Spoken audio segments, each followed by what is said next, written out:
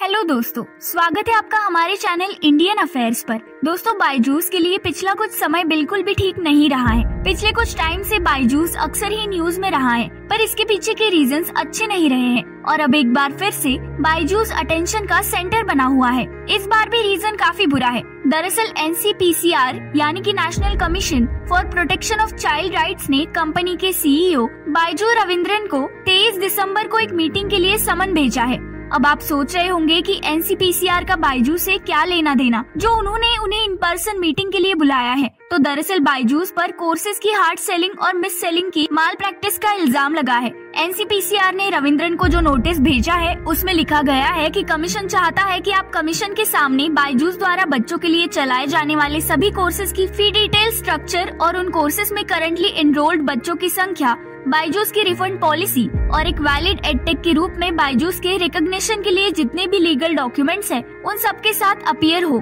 NCPCR के chairperson Priyank कानूनगो ने Tuesday को कहा कि वो कंपनी को उसकी रॉन्ग सेलिंग प्रैक्टिसेस के लिए गवर्नमेंट को रिपोर्ट कर देंगे। उन्होंने कहा कि बाईजूस फ़र्स्ट जनरेशन लर्नर्स को टारगेट कर रहा है। हम लोग एक्शन इनिशिएट करेंगे और एक रिपोर्ट बनाकर गवर्नमेंट को लिखेंगे। कानून गो ने बताया कि एलिजिडली बाईजूस बच्चों और उनके पेरेंट्स के फ़ोन नंबर्स खरीद रहा है और उन्हें अपने कोर्सेज खरीदने के लिए धमकी दे रहा है। उन्होंने कहा कि हमें पता चला है कि कैसे बाईजूस बच्चों और उनके पेरेंट्स के फ़ोन नंबर्स खरीद कर उन्हें फॉलो कर रहा है। और उन्हें धमकी दे रहा है कि उनका फ्यूचर खराब हो जाएगा। कमीशन ने मीडिया को ये भी बताया कि वो बायजूस के अगेंस्ट कमीशन के protection of child rights act 2005 के सेक्शन 14 के अकॉर्डिंग एक्शन लेंगे। वहीं दूसरी तरफ़ बाईजूस ने ऐसे किसी भी एलिगेशन के सच होने से साफ़ मना कर दिया है। बाईजूस के एक स्पोक पर्सन ने कहा कि बाईजूस ऐसे किसी भी एलिगेशन को स्ट्रॉन्गली डिनाई करता है, जिसके अकॉर्डिंग हम स्टूडेंट्स के डेटाबेस को खरीदते हैं। हमने कभी ऐसा कोई डेटाबेस नहीं खरीदा है, और हम आशा करते हैं कि मीडिया ऐसे बेसलेस और अनसब्सटैंशिएटेड एलिगेशन लगाने से बचेगा।